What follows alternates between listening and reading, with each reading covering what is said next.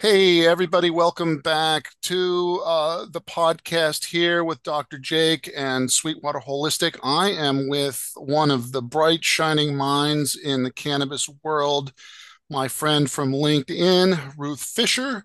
Ruth uh, has um, a PhD in economics and she did her bachelor's in mathematics, and she has written two books one, winning the hardware software game uh, using game theory to optimize uh, the pace of new technology adoption, and also the medical cannabis primer, ushering in the golden age of marijuana. Uh, welcome uh, so much, Ruth. Folks can find you at quantaa.com, Q U A N T A A.com just please share with folks a little bit about yourself and what you are up to and have been doing uh, these days. First of all, let me say it's such a pleasure to be here. I know we've had a couple of conversations, and I always just so enjoy them. We we end up in in so many different, uh, very interesting discussions. So thank you again for inviting me.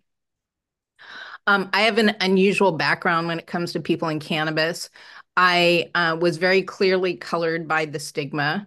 Um, I had used it in uh, cannabis in in college and grad school. Decided it wasn't really my thing.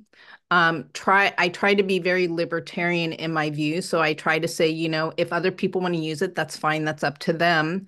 Um, but I grew up in the area of this is your brain on drugs, um, and was uh, heavily kind of bought into that. Um, and then in about 2015, um, my brother came to me and he said um, so he had been he had been diagnosed with multiple sclerosis and he gets really really bad multifaceted neuropathic pain. Um, and he had been struggling with that for for a long time and he tried literally everything out there. I mean every medication every device every procedure um, and it's still none of it was was really satisfactory um, and then so he came to me and he said, I've been using cannabis. And I'm like, really? And he said, and it's actually helping with the pain. And I was, I fell off my chair. And he said, but I'm not getting great effects. And I, fi- I figured that if I knew what I was doing, I would probably be able to get better effects. Can you help me figure this out? So at that point, knowing um, how much he had been struggling, um, and I'm sure there's so many people in your audience, uh, Dr. Jake, who have had either themselves or loved ones who've been plagued by some chronic problem that the traditional medical system hasn't been able to help them with. And it's really heart wrenching to see someone you love, you know, suffer like that. And so I was actually thrilled to finally be able to do something to help him. And so I jumped into cannabis saying, let's figure this out. So that's kind of my introduction into cannabis and, and how I got into this weird and wacky space. Um, so as I said, I knew nothing. I just started reading everything. So the reason he came to me is my background is in, first of all, market research understanding different markets. I'd spent a lot, a lot of time in healthcare. So I was very familiar with the healthcare industry and journals and journal articles and information and whatnot. Um, and the market research is, you know, understanding information and collating it and finding meaning in it. So that was kind of what my background is. And so healthcare, my areas of passion are healthcare, um, education, feel very strongly about schools and education. And the last one is technology adoption. I've been fascinated by technology adoption in society um, and how how technology shapes the types of technologies invented and then technology turns around and shapes people's behavior. So I've been fascinated by that and following that. Oh, I um, love this. Love this. Okay. so you've been following it. That fascinates me too. Um, I've got a bunch of threads going. So talk to me about finding meaning in the data. And then I'm I'm formulating these ideas because I want to bring it back to this article you wrote recently on placebo effect, but I'm just pulling these threads together. So talk to, to, to me about finding meaning. Okay. So I'm in the process. I posted something yesterday on LinkedIn and there have been a lot of comments and it provides a perfect example. And the issue was in California, um, people that, uh, and I forget exactly the, the name of the group, it was uh, the Rocky Mountain um, something, something in Colorado. And they put out a report on traffic fatalities um, involving people who had tested positive for cannabis.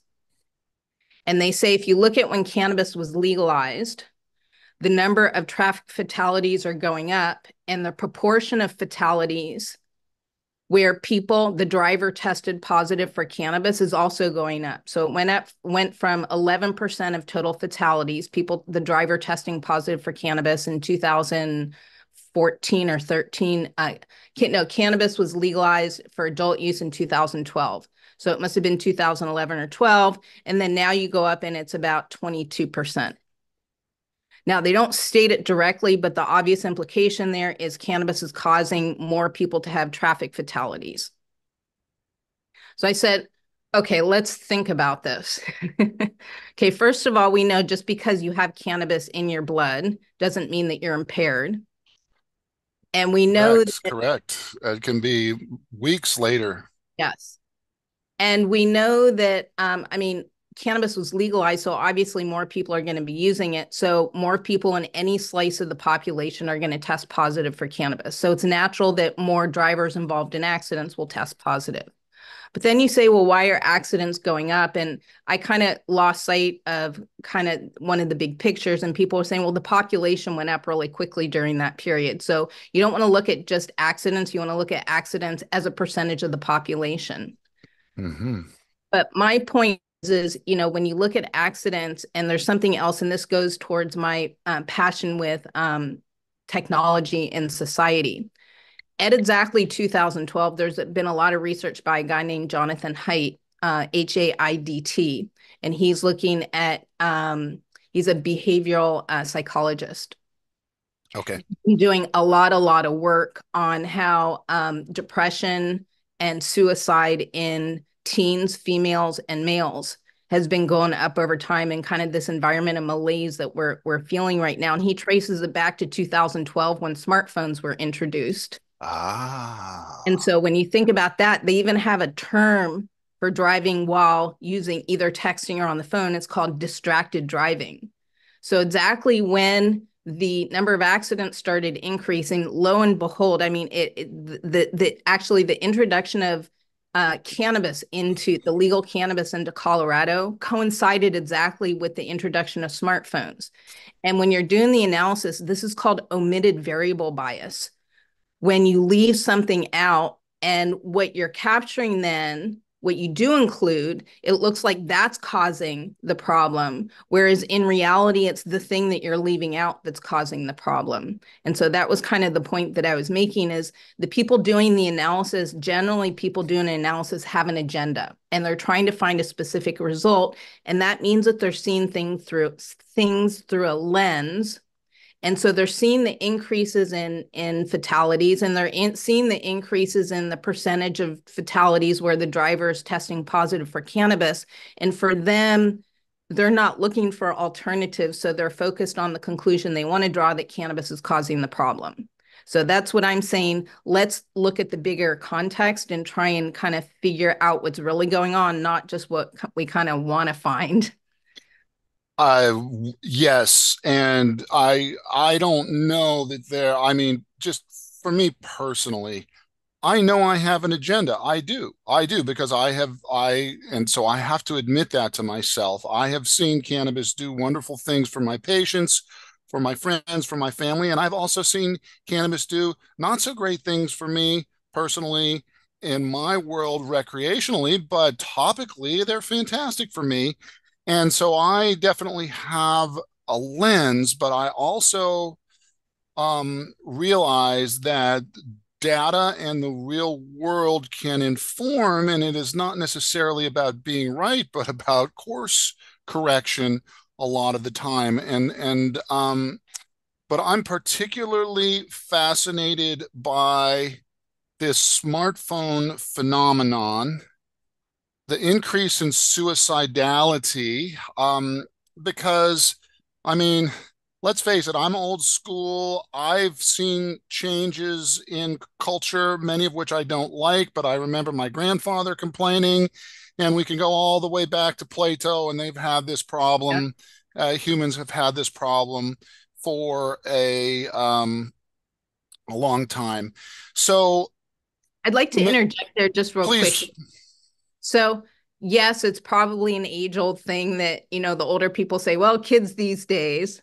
On the other hand, I will note, and this is something that I've discovered in my travels of researching technology and society, that the pace of things are changing so quickly today that when you go back, you know, say to the Middle Ages, if you look at the environment and the world that your kids or grandkids are growing up in during the Middle Ages, it's very, very similar to the world that you grew up in, just because there have hasn't been a lot of change in the environment, no new technologies, no real changes in the standard of living or anything. But today things are changing so quickly that, you know, I think that there are really big differences between the world that we're growing up in and say our kids and grandkids are growing up in. 100%. And I remember I was living in Nagoya, Japan. It was the late, mid late 90s. And some pundit made the observation that really not much has changed for us uh, with this new internet that everybody had since the Brady Bunch and when you had dial phones. But you compare, so for me, I mean, I totally, yeah, there's not much changed. And, but now it's very, very different. So I want to, I want to now thread this back to the article that you wrote on placebo effect because you had mentioned the importance of set and setting in that article. And could this cell phone smartphone tablet phenomenon be a huge part of the set and setting of humanity? And i just to tie it into i've been kind of doing my uh, flow apprenticeship and I was thinking about doom scrolling the other day, and that folks are getting that dopamine hit, which you also get in flow, but there's not a skill element involved. Anyway, that's a bit of a sidetrack, but I'm just opening yeah. that up. So, so, so maybe c- let's consider that in the context of set and setting, and maybe placebo or mind body connection. And I'll kick it back to you, Ruth. So, um, I had I've, I've spent a lot of time doing uh, analyses in different areas of cannabis because I'm I'm just so fascinated by it, and there's so many different areas to explore. Um, and at some point, I realized that there was kind of a connection there, and I ended up tying a couple of different pieces together.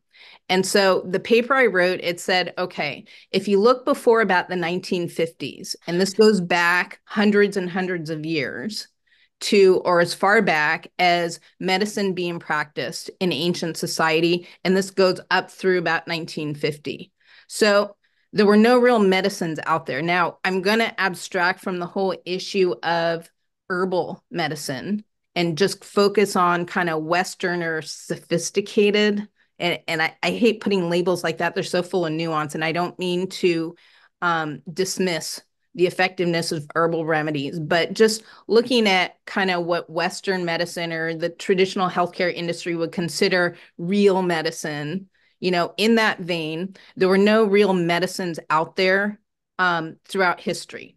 And so patients come to doctors, and doctors really can't give them anything that will realistically physiologically cure their problems, treat infections, heal wounds, you know, the cold, the flu, you know, whatever it is they're suffering, the doctors couldn't do anything real to help them. And so what they did is they relied on the placebo effect. And the placebo effect is the idea that you can use set and setting, and we'll get to that later, but anything other than something that's actually curative, physiologically curative, acting on the body, using your mind and expectations to get people to kind of cure themselves. and so, doctors, what they did is they enabled the placebo effect in patients. They provided a person of authority and respect and you know uh, someone who presumably knew what they were doing. Um, and they came up with all these rituals and concoctions that helped people kind of make believe that they were getting something legitimate and then their body would heal themselves. And so it was kind of play acting in a sense. And I don't mean to be judgmental here, but I'll be using this terminology. Um, and the the patients played into it and and a lot of patients were healed just because they ended up healing themselves and the doctors all along knew that they weren't doing anything real that it was kind of you know a, a, a show but this is kind of their job and so in that sense medicine is an art there's no real science involved it's an art and um it's it's using figuring out the art of medicine to help help your patients as much as you can. Wonderful. Oh, I have so much to to say, and I want to be extracting from your brain and not mine. But I love this concept of play acting. Yeah. I took a I took a couple. I was a I was a psych major at Penn State, and I took a couple, and mostly I focused on industrial psychology and human performance. It fascinates me, but I took a couple side courses, and in one in one case, there was a shaman performing a rite or a ritual. Actually, there were a number of shamans, but this particular shaman had a trick that he used. Before the event, he would take a tuft of down feather and put it in his cheek. And when he would do, and I am a big fan of indigenous populations, and I would be happy to push back on whether or not it was real medicine, but I don't think that that's what's important. In this case, he knowingly would do the ritual and right. put his mouth to the the person he was treating while he had bitten on the inside of his cheek to cause the blood come out and he'd pull out the bloody tuft of down like magic. Yeah. And he had no cognitive dissonance in and around this. And and if i'm and boy this is going back to the to the 80s when i was looking at this but his results were better and the result of placebo effect is in and around 30% and you can do sham knee surgery where they just make the cuts on the knees and these patients with cartilage degeneration get better. It's fascinating. And also i would like to say we very much have rites and rituals in modern medicine, and I'll name a few. Yes. One is the white coat, which yes. serves absolutely no function. Yes. You mentioned this in your article. Sometimes the doctors are stylishly swathing their stethoscopes, which these days, most of the time, if you pay attention, they never use. Sometimes they do, but right. anyway, but right. it's it's a prominent prop. And also the right of signing in at the front desk and yes. showing your insurance card in the yes. whole i hope there's not a problem with my insurance because if there is this is you know and then making your copay and then you you know you these are all rites and rituals and then you are you are not you don't go back and see the doctor. You're allowed to go back and see the doctor. Um, so uh, again set in setting um, i think that uh, we can um, well, anyway, I will kick it back to you because I have a bunch of other threads, and I don't want it to get. I want. I want to kind of stay on target here, but but talk a little bit more about that if that brought up anything for you. It well, that kind of plays into the later stuff because so you have in this pre 1950s or so era, it's pretty much placebo effect going on, and and in the article I say, well, medicine is an art at this point. They're not using real science. Now we know that if you go into the shamans and the medicine women and the herbalists, that a lot of that ties into really things that have been discovered now are, are extremely legitimate. But I'm talking about the, you know, the the tonics and you know the barbers and the the, the rhinoceros horn and yeah, yeah, the, yeah, the, tiger claw and the tiger claw tea and all that other stuff. And yeah, yeah, yeah. I have yeah, well, all of that stuff. Right, right, right.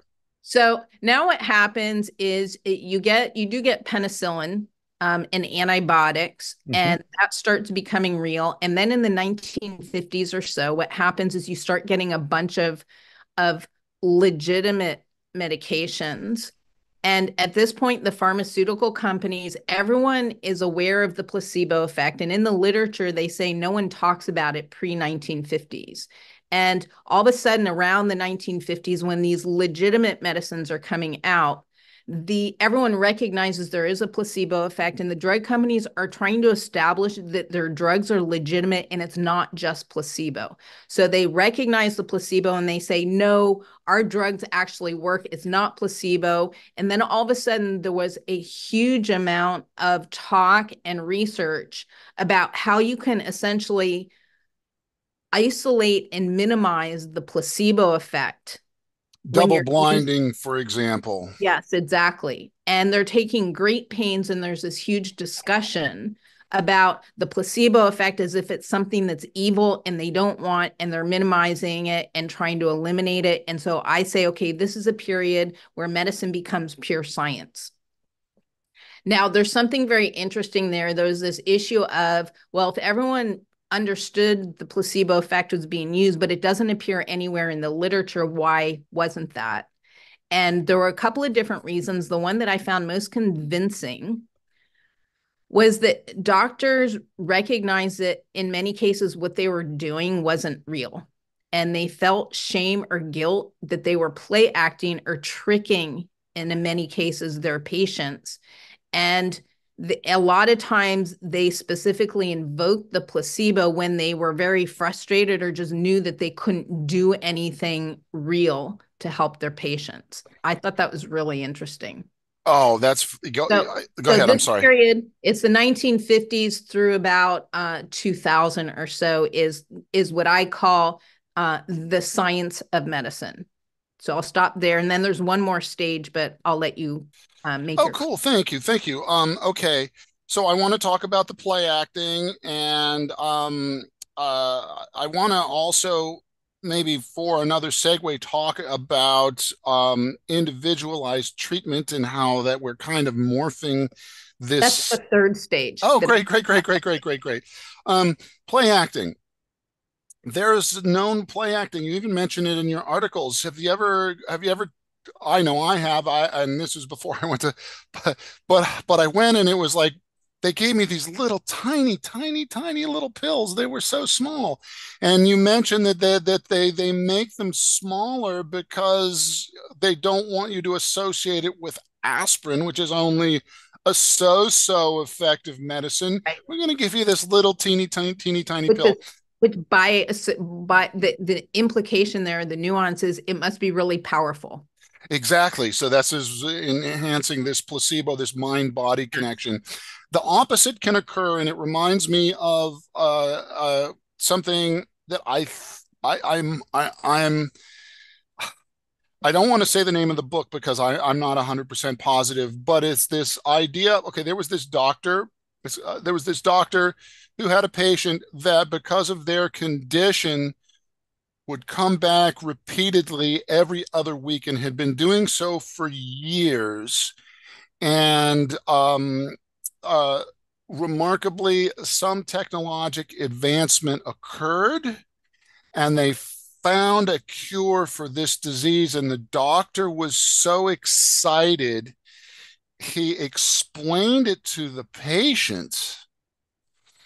But for whatever reason, the patient did not exactly understand what the doctor was saying. A lot of people probably have the experience I know I have in the clinic where my patient is nodding their head and I know they're not getting what I'm saying, but I'm seven minutes late right now. And so um, he said, and the final thing, John, is that I I'm really sorry to say I won't be seeing you in two weeks. And what John thought was he thought that the doctor was telling him he was going to die in that two week period. And he actually ended up dying of unknown causes unrelated to, and I believe that comes from a book, an older book called um, Confessions of a Medical Heretic, which was written by a, medical doctor, but I'm not 100% positive. So that's acting on the one side, but play acting on uh, the other side. And I'm just going to tell a personal story. I'm a surfer. I'm in the sun all the time. I was a caddy as a kid. I was in the sun and I have fairly fair skin and I worry about skin cancer. It's a natural thing. And I had a black spot on my cheek. and I went to the dermatologist, and um, this was in Durango, Colorado, where there's you know six thousand feet or whatever, a lot of sun exposure there, and so she had seen a lot of this, and she takes a look at it under the microscope, and as she's pulling her face back, I saw a look of extreme worry on her face. It was just, and I was like, oh my God, I've got melanoma and I'm a dead man. And uh, they took the biopsy, they sent it away. It ended up being a benign blue nevus, no skin cancer. But during that 10 day period, she really scared the she scared me so bad just from a look. So so um, medical hexing can go the opposite way, and um, yeah, a lot of the times the doctors are play acting because for chronic diseases, conventional medicine still doesn't have a whole lot of of uh, of options. Anyway, thoughts on that, Ruth? I um I spent a lot of time on the doctor patient relationship. And personally, I think um, my hypothesis, and I believe very strongly, is that the doctor patient relationship underlies the whole medical experience. Now, my dad was a private practice physician. Um, and and so I've been following and he was he's my hero and my idol and I worked in office and he was amazing at what he did. He spent a lot of time with his patients uh, and he was just, he was very good with them. Um, and I've been watching kind of the medical industry that I can remember since about the 80s and kind of how it's evolved over time. And I've done just so much research on so many different aspects of that. But I believe that what's really important is continuity of care and the doctor patient relationship. And as you say, it's this aspect of trust which underlies the story that you told about the guy who was seen as doctor regularly. And I think that sadly, that all of the ad- advancements or the way that the healthcare system has evolved, all every single one of the changes almost has served to kill the doctor patient relationship. And and it's it's really sad. Um, but I was doing this uh, reading about kind of this issue and the trust and the importance of trust and I read this really amazing story, and it was talking about this this workshop or seminar that was done um, in a medical setting. And the question is, is what do patients want from their doctors? And what they did is they went around the room and they put bit, butcher paper on the walls. And they said, when I go to my doctor, I want, and they left like blank things. And people at the seminar, there are a lot of people would go in and like write in kind of what they wanted. And so they're all different variations on, you know, what I'm looking for and what I want and what my expectations are. And what most of the people said is, I want to be heard. I want to oh. be reassured. And so it's this idea that you go to the doctor and the doctor touches you very warmly and says, everything's going to be all right. And that type of reassurance and just being heard, you know, this hurts and the doctor says yeah that that must be really difficult for you. You know oh yeah. the empathy and the you know validates you as a person. And as we move to more technology and more robotics and everything, you're just completely stripping the experience of any of that humanity and human contact, which I think is so necessary in hmm. so much of the the doctor patient visit and what patients are looking for. And so i don't think it's going to go well. Well and i noticed uh, i've been in the hospital a couple of times. I had a pretty bad fall and uh, surgery in 2003 and then i in the oh probably about 10 years or so ago for about a three year period there i had a a bout with kidney stones and I had been I had actually had to be hospitalized at least once for that. And what I noticed was all the nurses are per diem. And so I would be like, Are you coming back tomorrow? Oh no. I would have loved to have seen them tomorrow. But they're not, or they'd be at a different hospital or on a different floor. Um, so this lack of continuity of care. But to touch on this thing of empathy, there's an ancient article from um, October of 1967 in the I don't even think it exists. I don't know how long it was, but the Journal of Clinical Hypnotherapy. Yep. And it was like an N of two study or something along those lines on similarities between hypnosis and psychedelic states and there was a two-way arm where the the hypnotherapists would at different times switch roles and the observation of the author was that wow john will give his name because i think that was his name i can't remember the woman's name uh, your hypnotherapy skills have improved after your psychedelic experience could it have been that there was more empathy? Could it have been that there was a, a, a, psychic open opening or anything like that? Um, but uh, uh, again, this idea of empathy and what is the what is the thing that we hate about our doctors doing is when I have questions and I'm poo-pooed or I'm told that I don't know what I'm talking about and listen to me.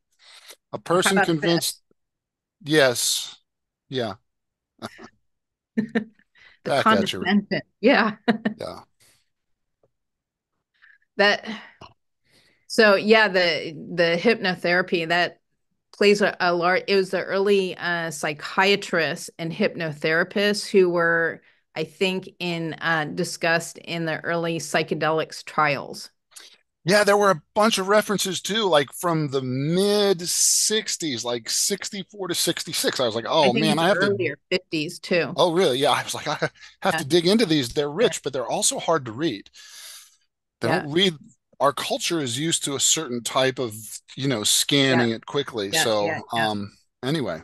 Oh, wow. Okay. So, so that was, that's the, the, uh, the science of medicine where they were trying to eliminate the um, the um, placebo effect to the extent possible. And the third kind of era of medicine, which I call the art and science of medicine, started around 2000s. And that's when kind of there's research into the mind body connection. And there's a recognition that mental states affect physical states and vice versa. And now do you have doctors trying to understand these mental states and trying to understand how the placebo effect works so that they can help people get as much from it to cure themselves and improve their their sense of well-being. And so in that area that's been really fascinating. That's when there've been a lot of study of the placebo effect and how it works and you get this this recognition that things like you know the white coats and and the the doctor's office and the setting and you know the things that you mentioned about um, taking down your insurance um, things like the size of the pills whether they're small medium or large the color of pills the shape of pills. I, it, all of this stuff is coming out that it matters. Um, and there were let's see if i remember these three different areas different areas on um, where they're trying to uh, better understand the placebo effect so they can take advantage of it. One is the mind body connection, so it's the health and wellness area. The second area the second area is they're trying to understand why certain people experience a placebo effect or a stronger placebo effect, whereas others don't. And this is kind of interesting because they discovered, and this is going back to how during the second period, how to minimize the placebo effect. What they were doing is they were testing the potential survey uh, or study uh, participants, and they were pre testing them to see whether or not they were susceptible to a placebo effect. And the ones who were very susceptible, they would not include in the study to help minimize, which I thought was a really interesting technique. So hmm. they're recognizing that certain people are more susceptible and certain people aren't, and they're trying to understand that. And they've now done actually separate studies. And the way this works is they go in and they give you, say, an opiate. And an opiate will stimulate your opioid receptors. And when your opiate opioid receptors are stimulated, you release um, in your body um, whatever the, the substance is. You would can you give me some of the substances released by your that your opioid receptors it's like is it serotonin? Are those no? Those I.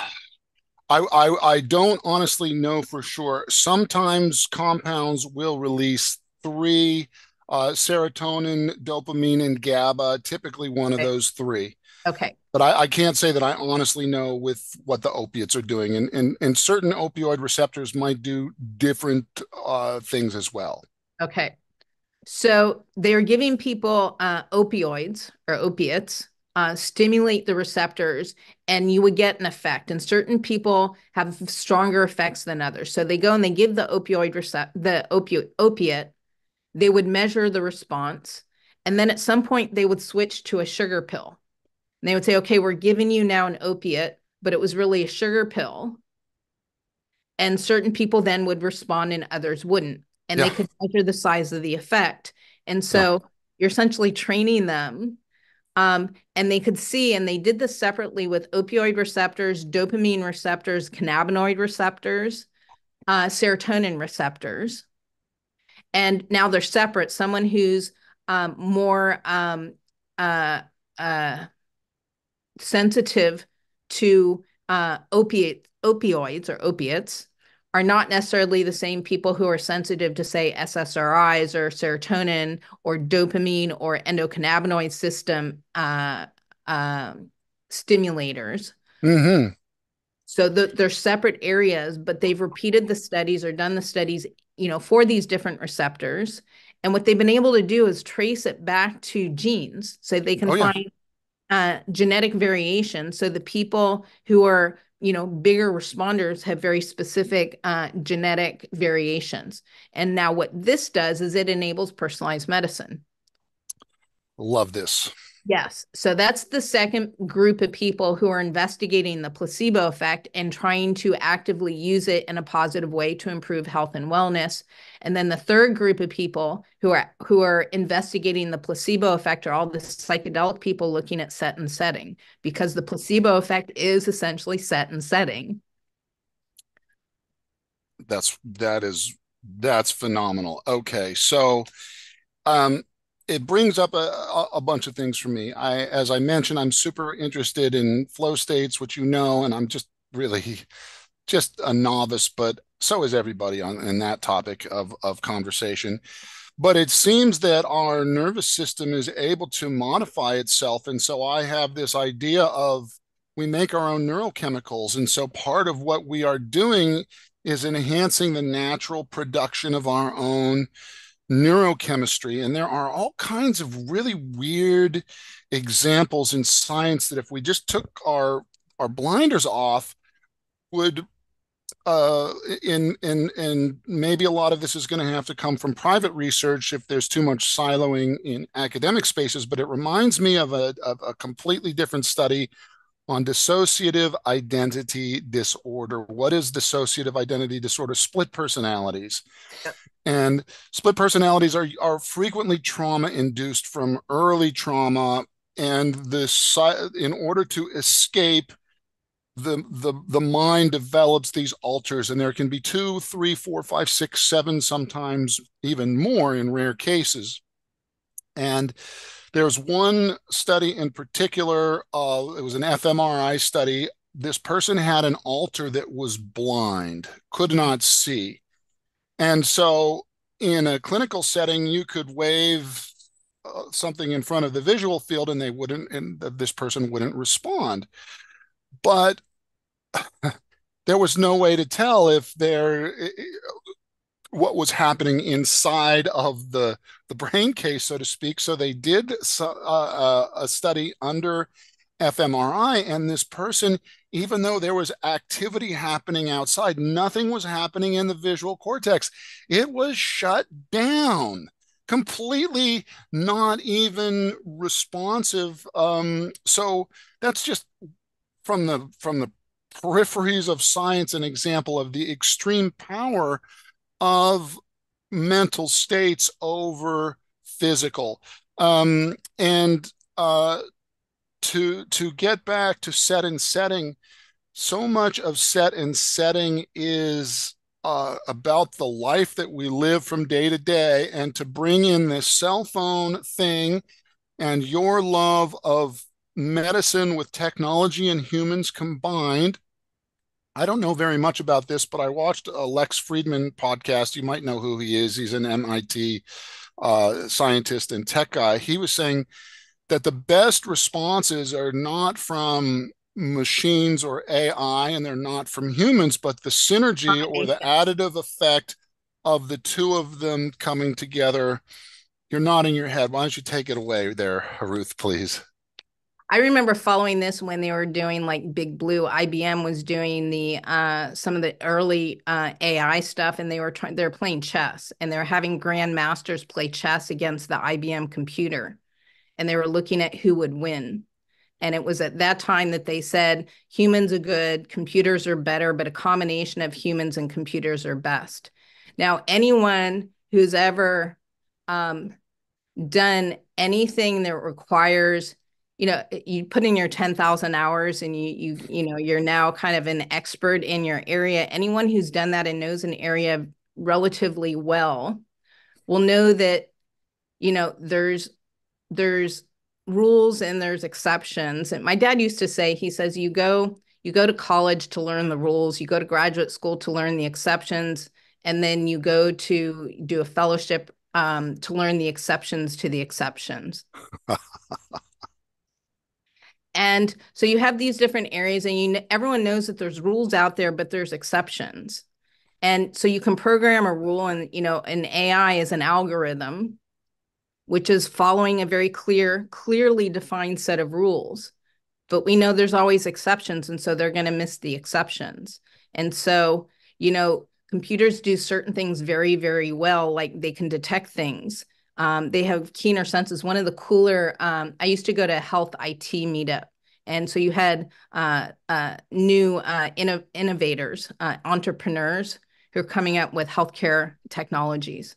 Uh, and these one people, I, they came in and I thought it was the coolest thing. They had, going back to the stethoscope, they had doctors who used the stethoscope to listen to heartbeats of patients. They recorded the heartbeats. And then wow. they um, had a computer uh, interpret it. And the thing is, is there were very, very minute um, changes in the rhythms in the heart that were beyond the ability of people to distinguish. But the computer was able to make those distinctions so they could listen to these heartbeat data and predict, you know, who had a, a problematic uh, heartbeat and predict things like heart attacks or whatever. And so, you know, computers have finer detection and they have greater speed they can just crunch numbers at a you know an impossibly fast rate. But they don't have they don't have humor. They don't have nuance. They don't have you know they they show um there are things that little kids can do that computers can't do you know just because that's what makes people people. They're emergent properties that you can't program in well, talk to me then about this in the context of data. And let's use chess as an example. So, chess has very defined rules, it's 100% defined rules. So, you can pretty much put it in a virtual uh, universe and work out all of the parameters if you have enough calculating capacity. Um, and you mentioned exceptions to the rules. In any in any, and then earlier on, you talked about omitted variable bias. Yeah. So in the real world, there is always going to be omitted variable bias, even if we put our entire planet in a uh, in a bubble, so to speak similar to chess rules, just hypothetically, there could still be sun flares or there could still be a comet or an asteroid we haven't thought of. So, so I'm going to leave it as an open-ended question, but but talk about this in the context of omitted variables and AI only analyzes the rules, and I might bring it back, depending on how you go, into some art of swordsmanship from the Japanese Budo perspective. But why don't you uh, take that one away? Because I think you're an expert in this area, Ruth. So I would I would say any deterministic environment a computer would probably be better at because if you're looking at just it's deterministic, it's just a matter of which combination presents then computers can do all the probabilities. They can look at all the different possibilities and probabilities and figure it out better than a person could. So a chessboard, and I'm not a chess person. I know how to play, but I, I don't play.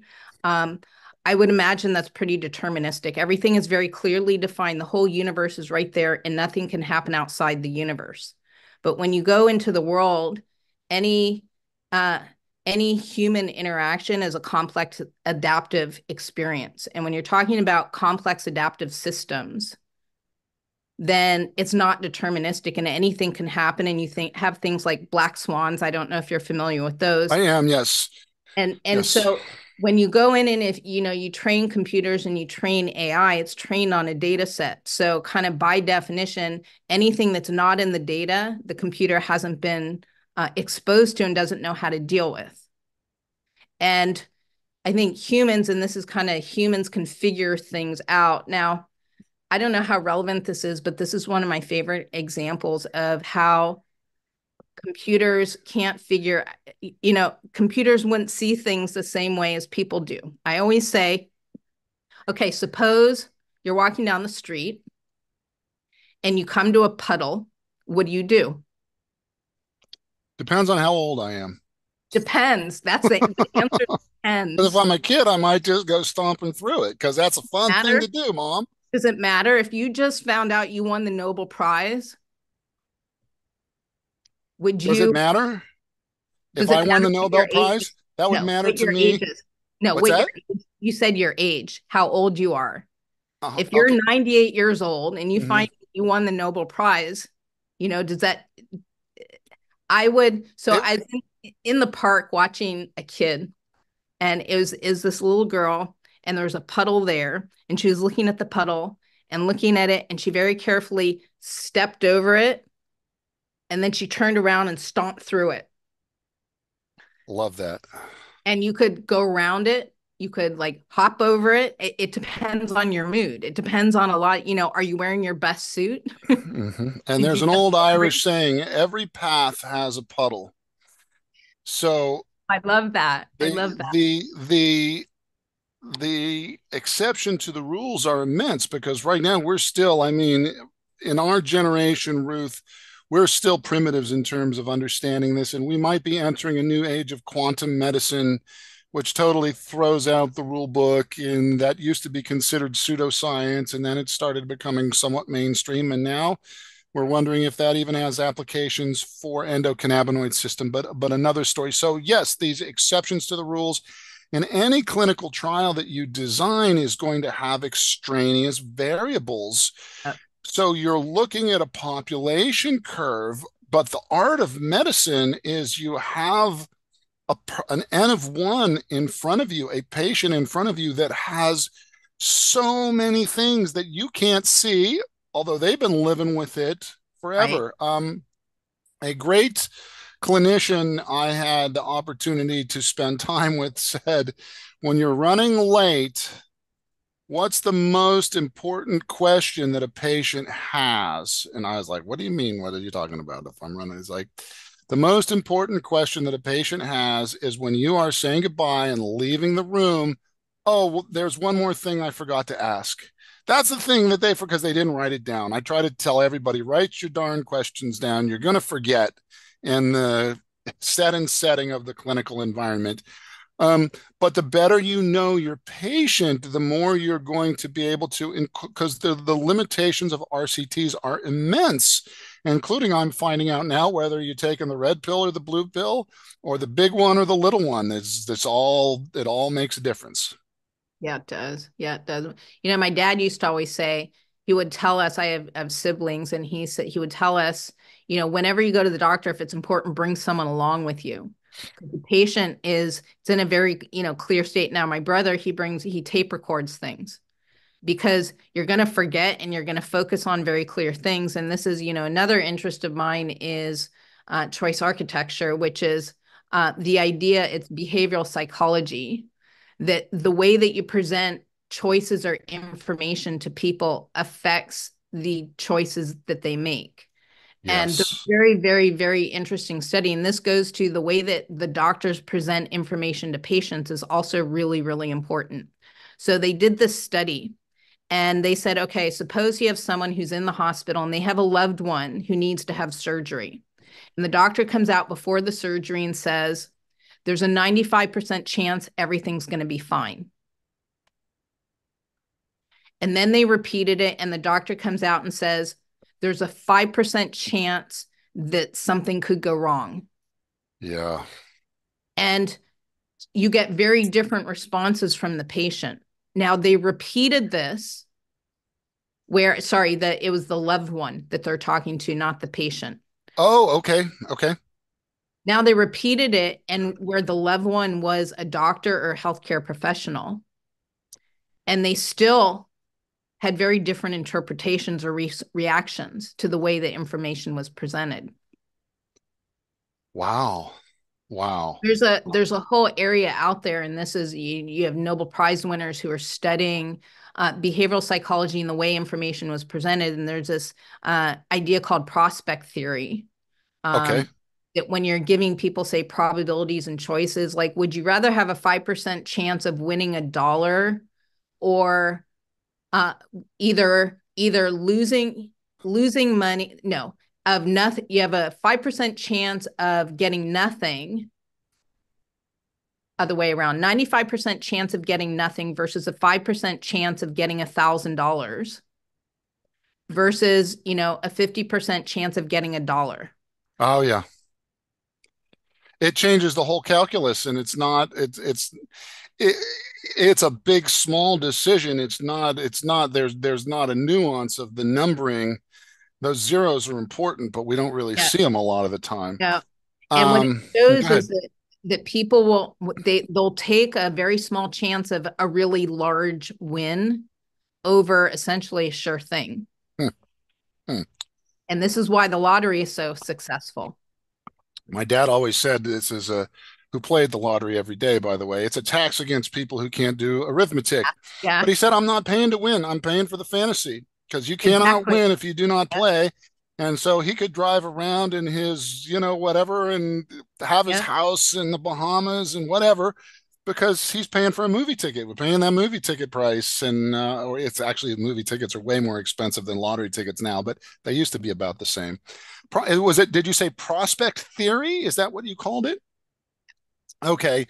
So um, the nervous system is funny and um, uh, uh, uh, the early organization of neural networks grew up in and around searching for food and to a degree avoiding danger. But a huge part of the nervous system originated in terms of getting what we want and avoiding what we don't want. So, sense of smell, sense of taste, anything that can orient us towards food.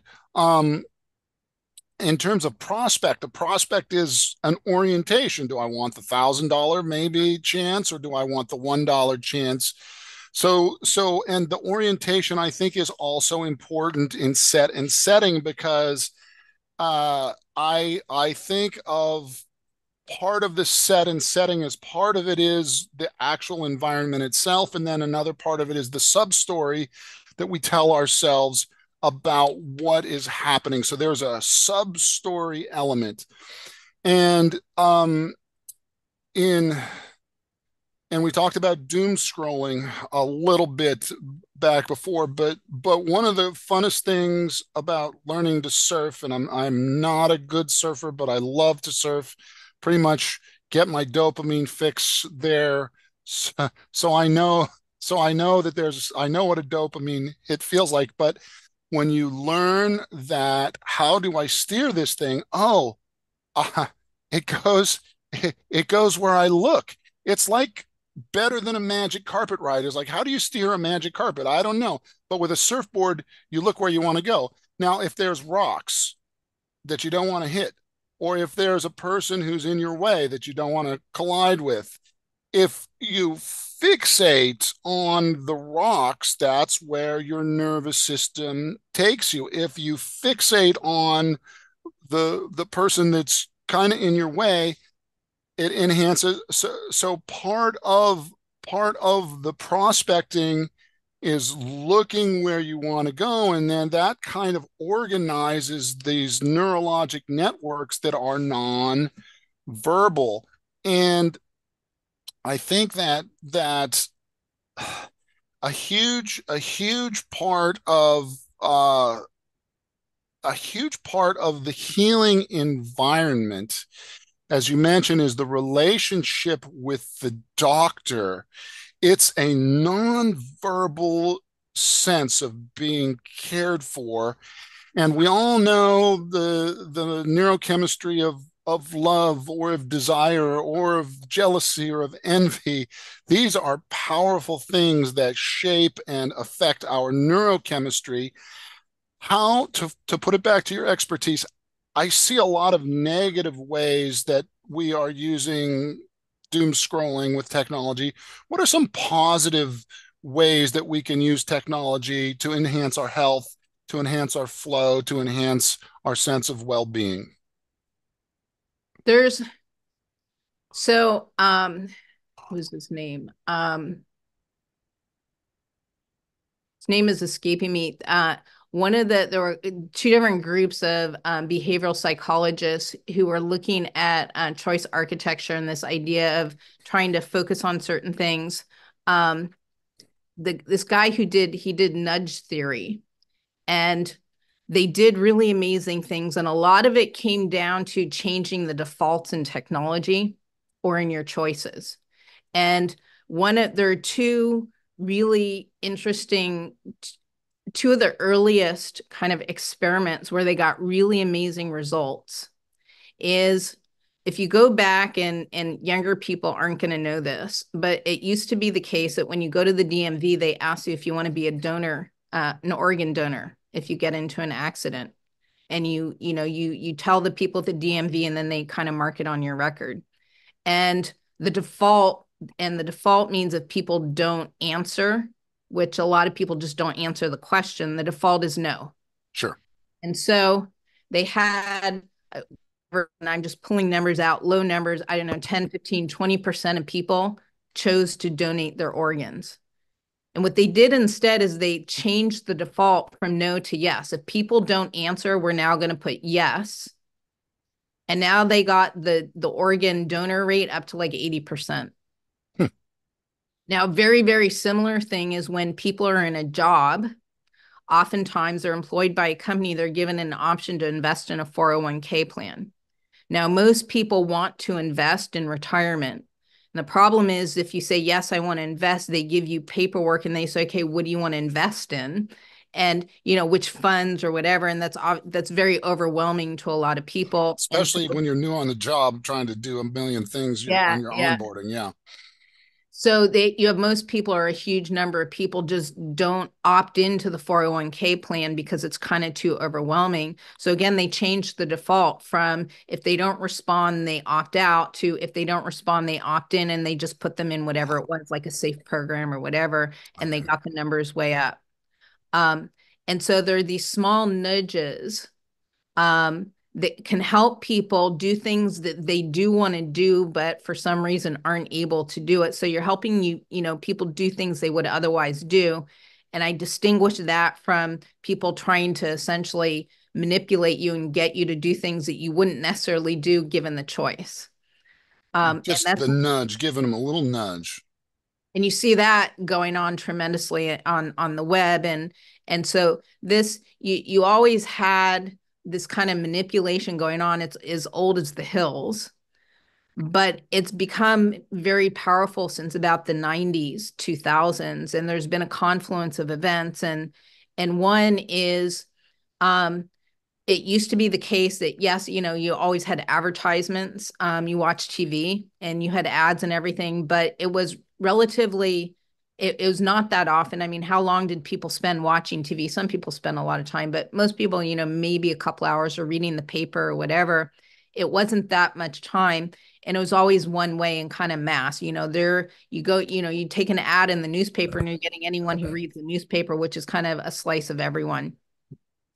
But starting with the internet, all of a sudden and as people now are increasingly spending time on on their phones and on screens they're now connected to screen time. So they're they're present and able to be be influenced through you know a huge portion of that 24 hour day.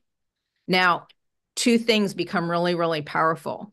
One is the fact that when you're on your phone someone's speaking to you personally. It's now tailored. Ah yeah yeah. And then the third piece is all the tracking information where they're able to, you know, get direct feedback from you to know what works for you. And so not only are they able to give you ads, but they're able to give you ads that you particularly are going to be vulnerable to.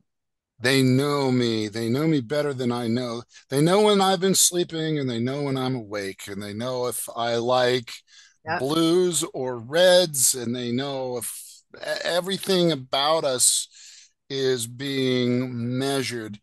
Uh, I don't know if that's the case in other countries. I, I have a buddy who um, he is quite a bright guy, and he did he did his PhD in mathematics at University of Frankfurt. He's an American guy, but he says that he doesn't think that the Germans are allowing these tech companies to collect data on them wouldn't it be nice to get paid instead of me having to pay eh, Google so that I can use Google that because Google's getting all my data. I'm writing all my things in Google Docs. They're just those language models. If they paid me for my information, that would be a beautiful uh, change of things. But I, I, I asked my nephew about this, and he's a young tech tech savvy entrepreneur, bright guy, and he's like, Uncle Jake, I don't care. They can know whatever about me they want. Because he never lived in an area of privacy. Right. I don't want everybody to know everything. Yeah. I yeah, no, I I I ran a meetup on game theory. Um, and I was presenting a lot of these different types of scenarios and just having people discuss them and kind of different strategies. And and I had some younger people, and I would you know spec- ask them very specific and pointed questions, and they definitely have very different beliefs. You know, I you know there's a young woman, and I said, you know, what do you think about the you know getting you know the recommendation engines and the fact that you know all these very personal ads, and she's you know they're taking your data actually. And she says, well, if it's giving me better ads, then that's fine. If it's giving me better, if it's giving me better TikTok videos, I'm, I'm happy about that.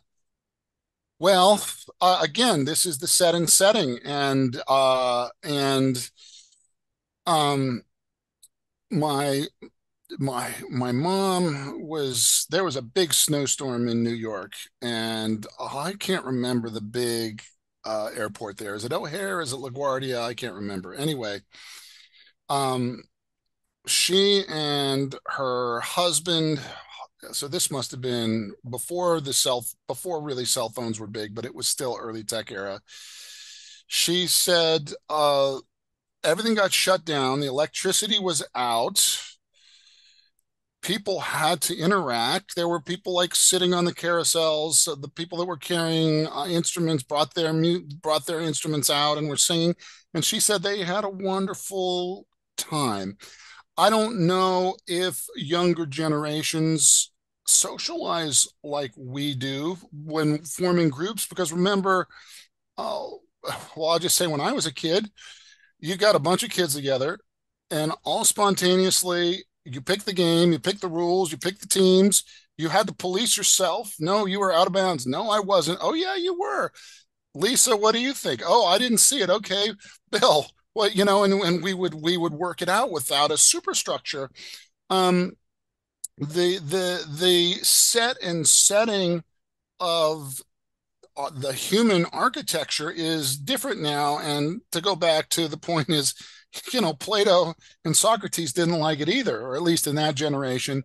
Um, but what I'm seeing is is change happening fast, and with these increases in suicide rates uh, with kids, um, raises a, a, lot of question marks. Uh, any thoughts on that? Or I do have an, another question to, to segue, but let me know what your thoughts are on that because it's a technology question, really. I think it kind of goes back to the some of the points I was making about the doctor patient relationship is while people are it's a paradox while they're increasingly connected to more and different people they're also increasingly isolated. They're physically isolated. They're not touching other people. I think humans need touch. And I'm sure you're aware of all the studies that have been done about like the baby monkeys oh, where oh, yeah. They didn't they didn't touch them, you know, and they go insane. People need to be touched and they need human in-person physical contact. And there's I a couple yeah there's a couple of really cool studies one is the harlow monkey study where the the the there was a wire cage mom with a bottle and yeah. then there was a, a, like a teddy bear mom not yeah. real but the teddy the, the the infants that had the teddy bear but you know humans really need all animals need touch um uh, in mammals i won't i won't talk about it because our, our our audience might not understand it but there's a reflex that happens when mothers clean their children that helps everything work. And and believe it or not at the er, at the beginning of the 20th century a newborn infant who who's who was adopted as a newborn had over a 95% fatality rate in the orphanages. Yeah. If they would almost all of them die. And it was only until I one of the caregivers started noticing that if she held them and nurtured them that they would survive a lot longer but humans without touch early on we we lose all of that and to segue into endocannabinoid system a little bit because i want to ask you a cannabis question i really do uh, but um, uh, if you take mouse pups, newborn baby mouse pups, and you block their endocannabinoid system, they don't develop a suckling reflex. And even though they're hungry, they will starve to death because they can't get their mouth musculature coordinated enough to uh, to to latch and to start to have the mom express her milk. So um, uh, you are a cannabis expert, and we have been talking about a lot of things on the periphery, which have been fascinating. I, I just want to get your take, maybe with the whole scope of all of this. What do you see as some big opportunities, perhaps, in the cannabis industry, or what do you see as some of the big blind spots in the cannabis industry? I know there's a bunch. So personally, in the area of medical cannabis, I've been fascinated by the the technology. oh, um, yeah. and I think I think the biggest areas are going to be um, bioavailability, which they are getting much better with, but targeted delivery. Oh yeah. I think that's going to be really, really important. And obviously, also specific formulations and mm-hmm, mm-hmm, mm-hmm. personalization. Wonderful. I've been seeing uh, uh, and actually spoke with a few people on calls about handheld products that interact with the products and the COAs in there. Uh, in, and I know there's one in Canada where everything is nationalized. So they're just pulling in a huge stream of data and how helpful that can be for patients to uh, to understand that because the thing about botanicals is there's so much variability and also the the darn receptor system so variable.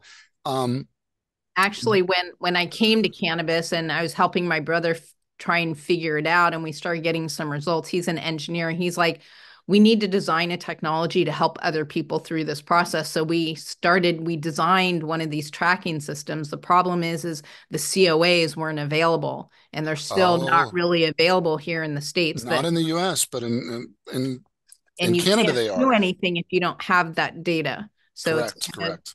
Of, um, um, but I would agree with you. Yes, that information is very helpful. What could the cannabis industry do better, in your opinion? There are a couple really big areas. I think the first is testing to make sure that the, the products people are getting are clearly, accurately labeled. Um, and that the products, um, it, the whole testing procedure. Uh, first, it was they weren't being tested, and now they're being tested, but the numbers are being fudged. They uh, are because there's monetary incentive. It's a terrible thing. Um, what about breakdown of cannabis products? CBA. I, yeah. So, um, the, and shelf life. Yes. Um, let me address the first one. This is a big, big issue I have been watching as the industry evolves, you start in every state they start with medical obviously and it's they build up and they get a real big base of medical users and and medical dispensaries and medical products in those dispensaries. And then at some point the states generally um, adopt um, or legalize adult use. And what happens is adult use swamps recreational use. And in every state it's invariable. Um, the the rec- adult use swamps recreational or medical? Sorry medical. Thank you okay. for yep. adult use swamps medical. And so it because going through the medical system you have to get your card you have to pay for your card you have to go to the dispensary and whatnot. And a lot of patients i believe for it's it's cheaper it's less conve- it's more convenient. They simply stop going the medical route and switch over to the adult use route. And um, at the same time, just the volume of sales in adult use is greater. And so what's happening in every single market is as soon as you get the adult use, essentially the medical market dies off.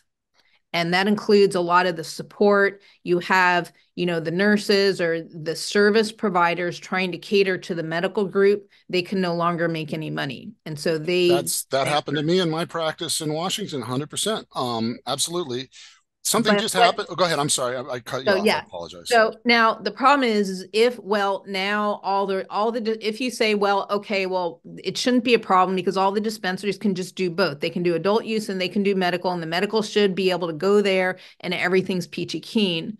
The problem is and and I know because you know I've helped people you know I say people say well what should I use? And I say well where are you? And I go on to you know Leafly or Weedmaps or whatever and I find dispensaries near them and I say okay if you go to this dispensary here's the product that you should be looking for. And I'm looking in these dispensaries and they they don't have anything.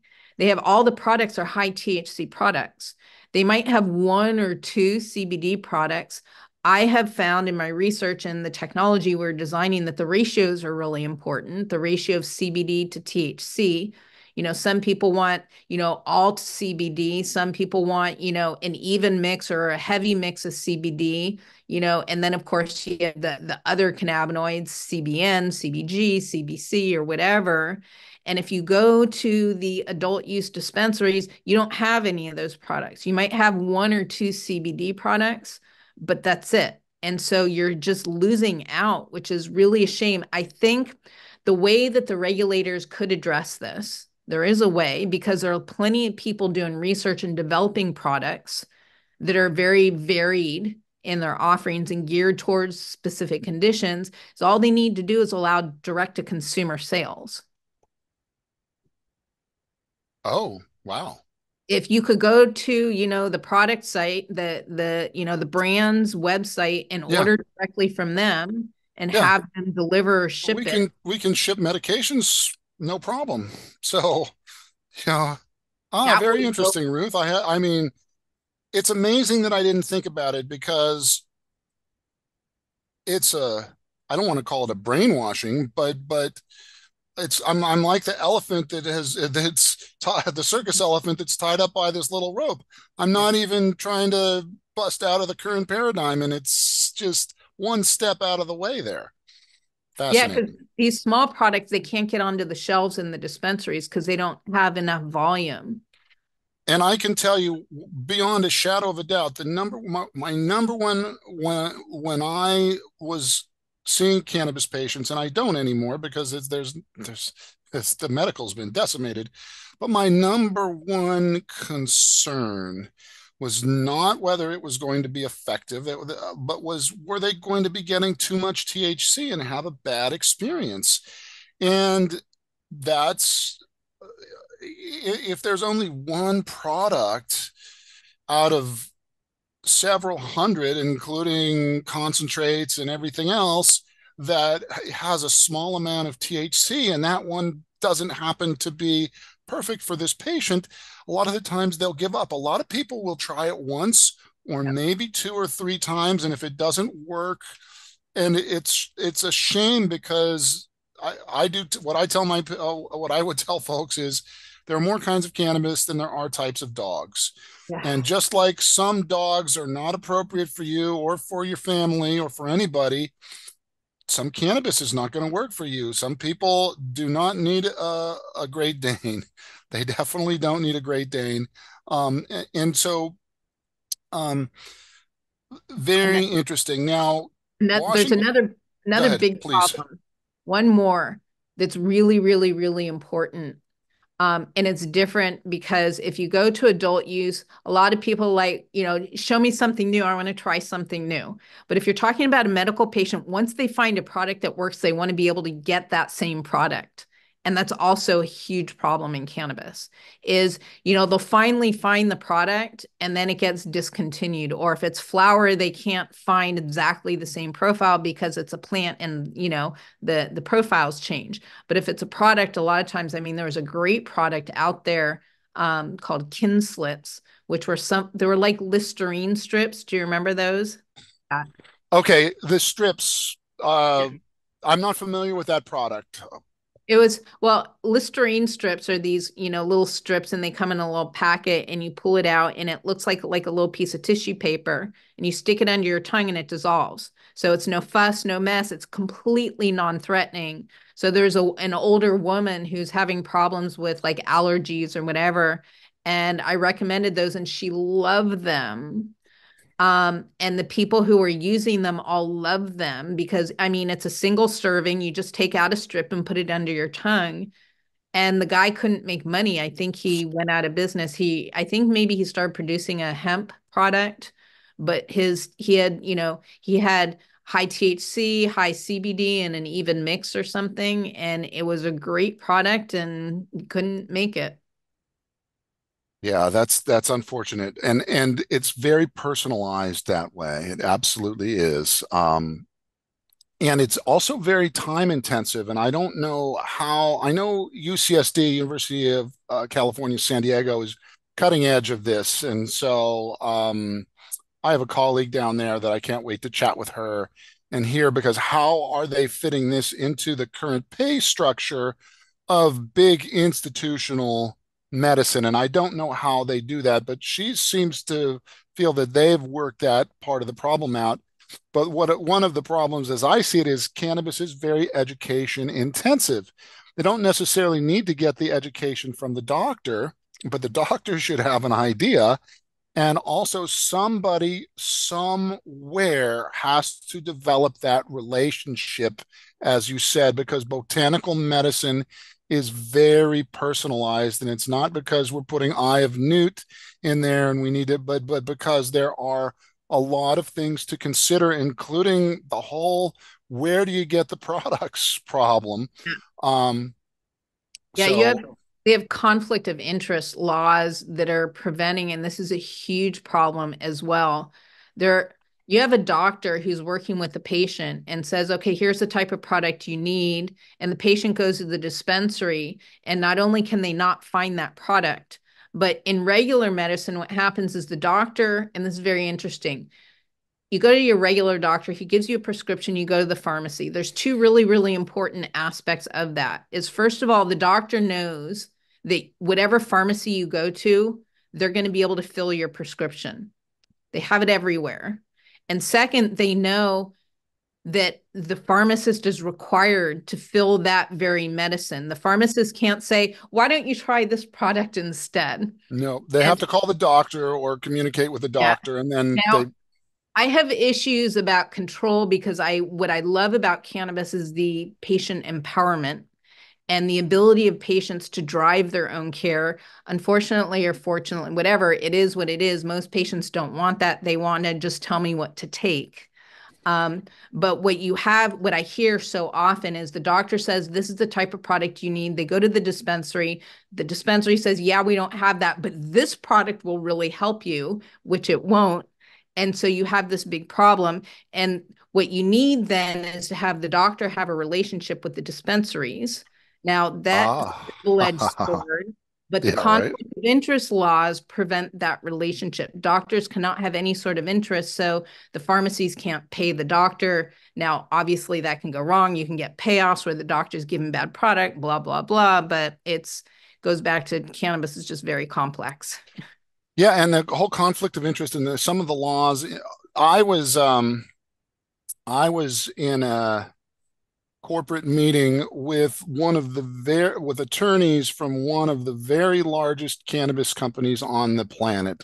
Big one of well, we won't say exactly which one, but one of the three biggest cannabis companies in the planet. Uh, and the, they, um, I was because I was designing an education program, an in-house education program for them, and they didn't like it because I was giving information to the sales reps and to the executives about benefits. And they said they said and i got pulled in with my boss.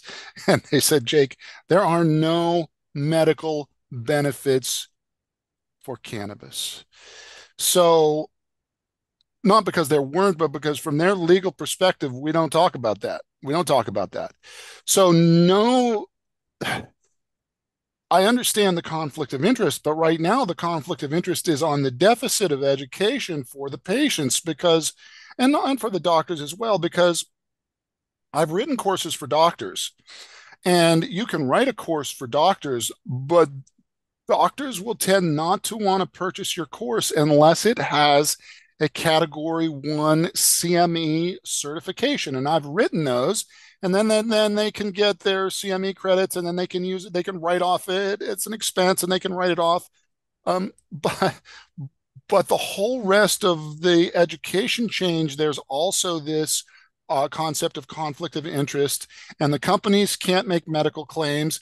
And that bud tender that you talked about that said, "Oh, we don't have that product, but try this. That's this should work." That's medical advice. That's a big no-no. I mean, nobody's getting in trouble for that, but well, they can say this will work. They can't say this will, you know, cure your pain. Yeah, I this will help your arthritis. They can't say that. Yeah, yeah. This is I mean, the acrobats that you know the word acrobats that go that goes on around you know the words you can well i found that you know other customers tell me that in my experience funny funny um, we are coming to the end here, Ruth. It has been a great pleasure. We still have a little bit of time. Um, is there anything that you want to talk about that we haven't gotten into yet? Um, I would like to hear from you about how cannabis can help with the flow experience. Great question.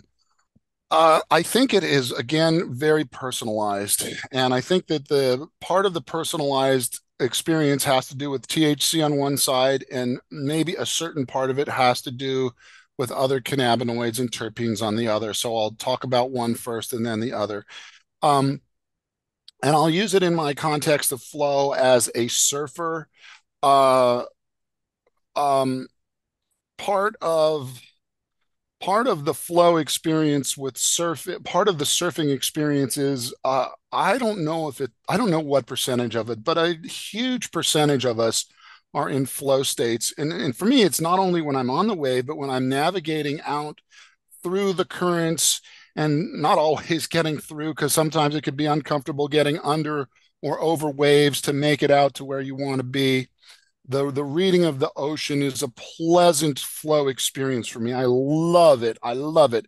I love to get a feel when I'm in a current and I ride a big longboard with a kind of a D fin and I like to get my board situated so that I'm getting a little push from my fin, kind of like the sail of a, of a ship.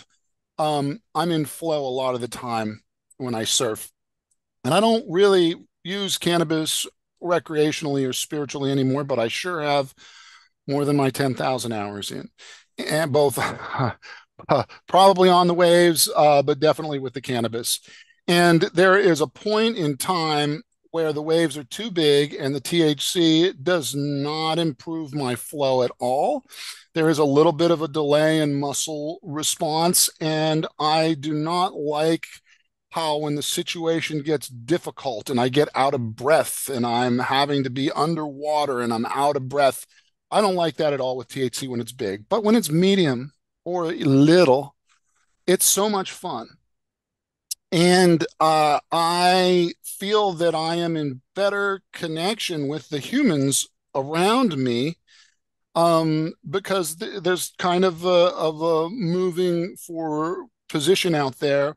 And one of the real fun things for me when I have is the sensation, and I don't have a whole lot of data about this, is I feel like I'm able to read the ocean better. So I'm navigating with it's kind of a game experience, right? So you're in a pack of people and there is there are rules that most people follow but beginners don't understand. So how okay, I have to identify who are the beginners out here? Who are the people that don't know the rules that might get in the way? That's a fun thing. The THC helps me with that. At least I think it does.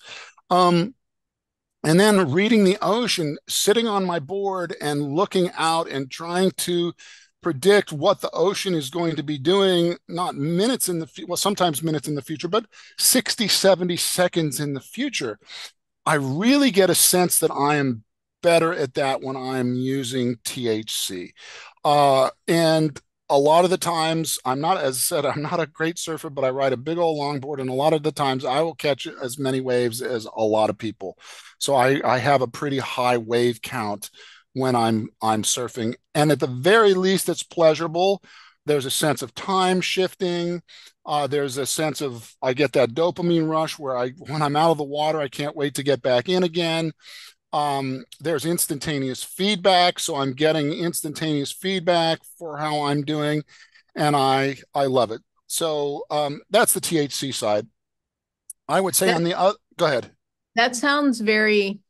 First of all, the, the social relationships is prefrontal cortex, but what you're describing about the experience seems very like right brain to me. It's almost like being in a flock of birds, how they would think to navigate that space where they're all together in this. Does that make any sense? Yeah, that makes a lot of sense. I don't know how that ties into. I, I'm trying to think that it's helping you with the big picture.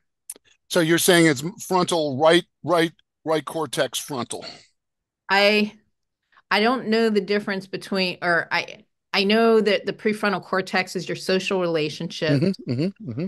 And I know that your right brain has to do with kind of more bigger picture and yeah. sensation and emotion. If I'm not mistaken, in in the limited flow research that we have, there is a transient hypofrontality in the left and an upregulation in the right. But I'll have to go back uh, and examine that. Um, oh, that's cool. A good question for me to to dig into. On the other cannabinoid side, um, I can only talk about two. Uh, one is CBD. Um, I get the sense that when I am using CBD, some I would typically how I'm thinking of this is as an oral. Um, I have better stamina. I have better blood sugar control. It seems that I am able to stay out there much longer. Hmm. It's too bad I don't really use THC anymore because I would love to know how the THC CBD combination would affect things, but this cat's not going to be doing that. But I definitely get the sense that uh, I am definitely able to stay out there longer. And you know, I'm I'm an I'm a an older athlete. Uh, and kind of like the the the dog with the gray and his snoot who keeps chasing the ball too many times and you got to tell him you know the owners have got to take him back or he's going to be limping later tonight. That's me.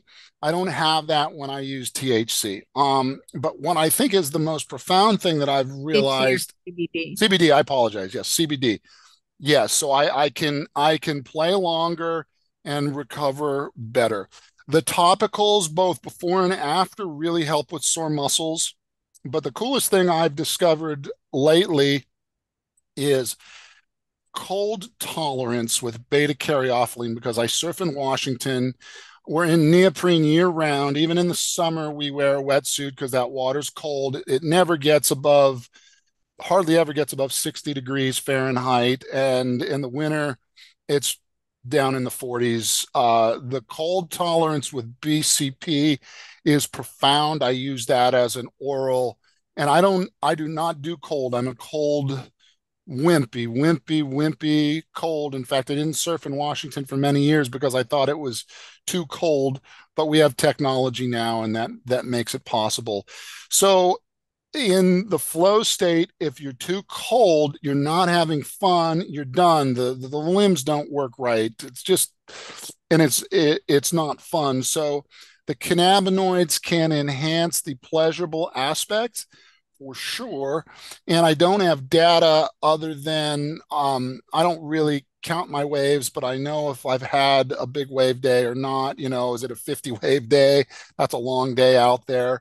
Um, I think that the, the, the THC helps me navigate the pack and also kind of have it, it, it, couldn't be i don't believe in sixth sense but a nonverbal sense of where i need to be.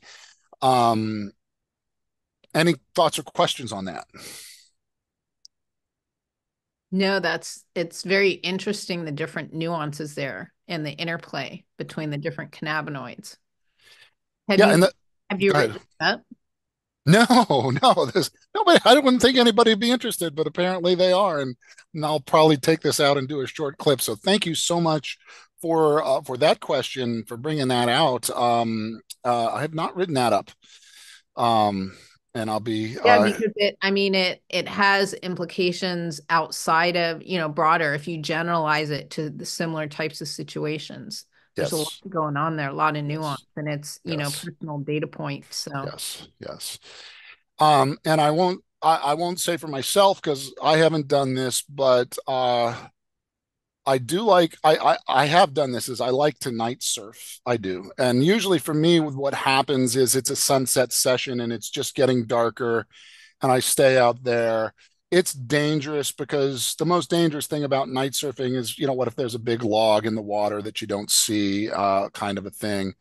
Um, but uh, as surfers tend to be experimental i know a lot of guys who are experimental with surfing who will microdose psilocybin in the summertime at night because we have that bioluminescence and I will go surfing out there, but I have not tried the.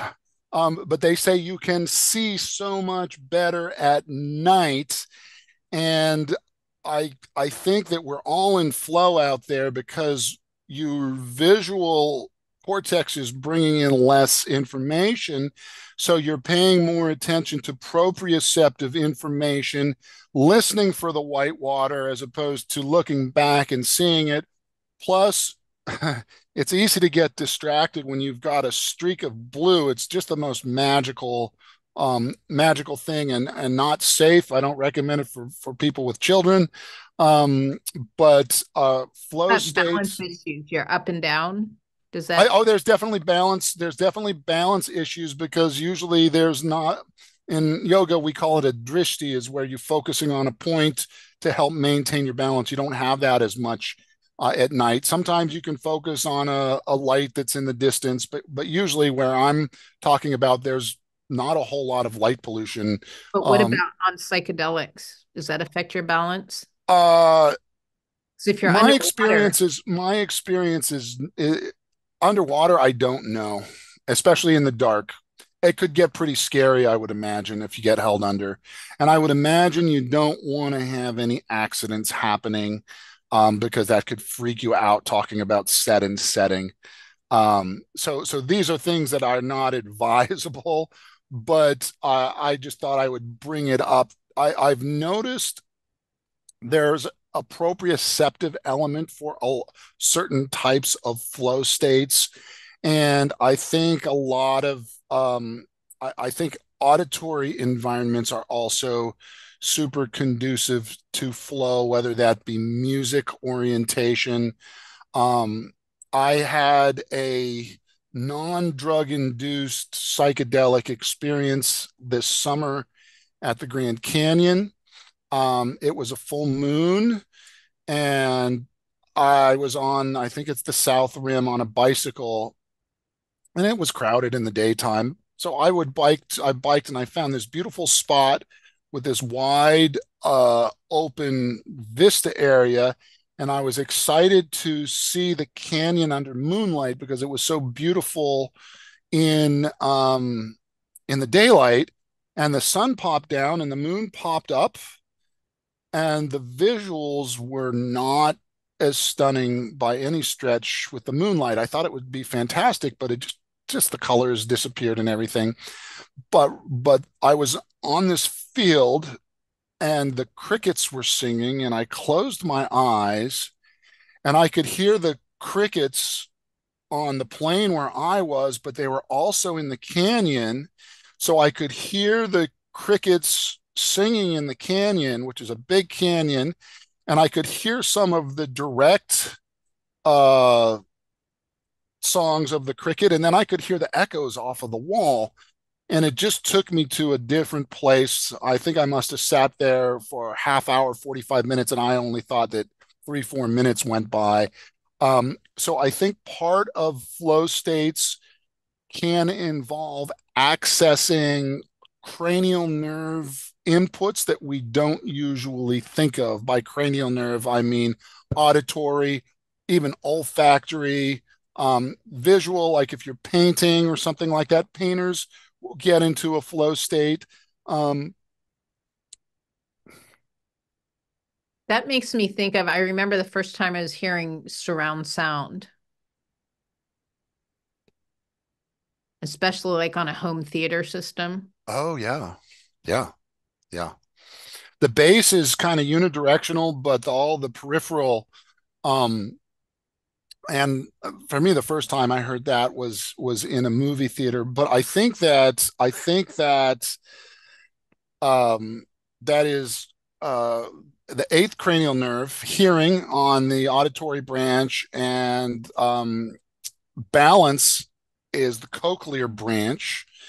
And I and in certain states, so so some of these circuits have bandwidth, and so sometimes if there are certain situations, certain things will get turned up or turned down. Uh, if anyone has been in a, a, near motor vehicle accident or some sometimes sensation of time really slows down and also things will sometimes go quiet even though there's a lot of cacophony around you that's that eighth cranial nerve auditory downregulating so that the balance aspect can upregulate.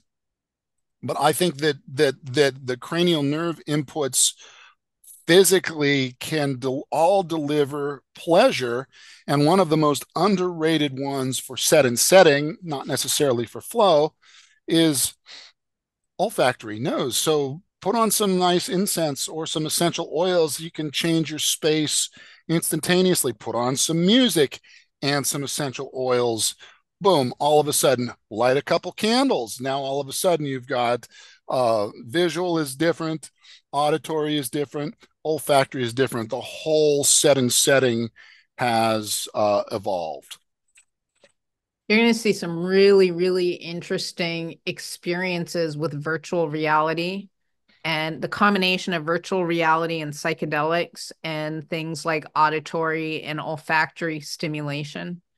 You know imagine putting together kind of you know an experience. I i saw that they were working on the olfactory piece somewhere and i thought to myself uh uh it's primitive. I wonder how it's going to go, but talked about talked about omitted variable bias how to replicate that. Now, I think you can do it with big stuff, but there's a paper from a extremely reputable peer review. I'm thinking it's Nature. If, if you give me a second, I, I might be able to, to pull it up real quickly here. The human nose, and I was astounded by this number, Ruth, because it's got a lot of zeros. Um, in this paper, an accurate nose, meaning not smoking cigarettes or whatever, can receive approximately 1 trillion. I'm not, I'm going to source the paper, olfactory inputs. And I'm going to say some things. I don't know if it's true for you, but remember how your grandma's house smelled? I yeah. do. I do. I remember how, and I I remember how the ocean smells in La Jolla because that was my home break as a kid and and uh, so the smell or the old musty smell of the locker room in high school. I remember that. So, so the the yep. olfactory is very much involved in set and setting. I think that's the going to be the final frontier for psychedelics because we'll be able to do the visual pretty quickly and the audio pretty quickly, but the combination of those two, there's going to be some additive, maybe some synergistic. Olfactory but, too. Yeah. But the olfactory is so hardwired because it's a it's a pleasure seeking. I mean, we don't do it anymore, but how do you find the food? And and uh, uh indigenous peoples can smell water. I don't know where I am, but I smell water. I've never yeah, smelled. Bringing me back to that uh, LinkedIn post where you commented, I was saying how uh, dogs have more CB receptors in their cerebellum, and you said, "Is that possibly why they can smell better than people?" Well, there, there's going to be hardware and architecture, and maybe even the nasal concha. I mean, there's probably a whole setup, and also different dogs have different degrees of smell. Anybody with a beagle or a hound knows they're not the most important thing in their dog's world. I mean, I love beagles, but the beagles are all about their nose. You want a dog that's all about you. Get a dog that's a lap dog that likes sitting on your lap. I'm going to try and find this paper. Um, why don't you tell me your thoughts on that for a minute, and I should be able to pull this paper up for everybody. Um, I I would have to agree. I mean, the smell is, I think, one of the I I don't know if it's even more more than music for me. I'm speaking personally, as far as powerful for bringing up memories. Ah, uh, yeah. You know, certain perfumes for reminding me about people and certain smells. As you say, like the locker room, you could remember the locker room, or you know, grandma's apartment, or I mean, my dad. My dad was he smokes cigars. And ah, yeah. I associate that with feeling very safe. And oh, so, so, someone else might not like it, but you love it oh, because it's yeah. That's funny. Yeah. My grandpa, my grandpa smoked a pipe. I love the smell of pipe tobacco. I don't like its taste, but I love I love how it smells. Yeah. And I'm sure mm. like cleaning agents. Yeah, yeah, yeah, yeah. That's and you know, there's I've seen some ads on on television about this particular um, laundry detergent, and the people are smelling it in the in the laundromat in this commercial, and it's yeah. taking them to this beautiful place. Yeah. So I found it. It's from uh, Journal Science. It's called "Humans Can Discriminate." Quote: Humans can discriminate more than one trillion olfactory stimuli. End quote. By C, the lead author C. Bushdid B U S H D I D. Folks can Google that if they want. Um, I was shocked by that number. So so um, but the memory factor and thinking of that in terms of assisting with PTSD or the set and setting. I mean, hospitals have a clean smell, and I I did have to put my um help get my mom uh, into an assisted living facility. It, was, took months and months uh, before the before the turn of the new year here. And honestly, my my one of my first, it probably was my first criteria, is I would walk into the place and smell it. Mm-hmm. I'm there for the smells because I want to know, you know, who's taking care of business here. Um, yeah. So so very cool. Any other any other thoughts, comments, or questions, Ruth? I can't think of anything. It's it's been such an interesting conversation. what an interesting long ride it's been. Uh, I thank you for your time. Thank you for your expertise. I've learned a lot from you today, and hopefully, folks will enjoy this. We went into some pretty technical detail um, but I've decided for my small and growing audience, I just have to stay on target with this, and the right people will find us. Ladies and gentlemen, uh, Ruth Fisher. Ruth, tell folks how they can find you. Um, I'm uh, very active on LinkedIn uh, and also at my website, Quantaa, Q U A N T A A. Um, and my book, The Medical Cannabis Primer, Uh, there's a website for that. So medicalcannabisprimer.com. Wonderful. Ruth, thank you so much for your time. I'm Dr. Jake Felice with Sweetwater Holistic, and I very much appreciate you listening. Okay, there's a nice little pause there. I'll just snip it. Thanks so much. Wow, we had fun and we covered some really cool topics, totally off script. There was definitely yeah. some flow in there. Yeah, yeah, a lot of really interesting stuff. What did you find most interesting personally? Um, the idea of set and setting is so intriguing to me. And we didn't get to some of it. There's um, and I forget their names, um, but they're they talk about meaning and the meaning that people attribute to everything. And one of the things that I've been thinking about um, before, you know, this morning was the cultural attitudes towards something. And so you go in, and I was thinking about, I'm looking at um, dispensaries and, oh, uh, economic uh, benefits and costs associated with legalizing cannabis. And they note that dispensaries tend to get put in zoned and and lower socioeconomic uh, areas. Oh.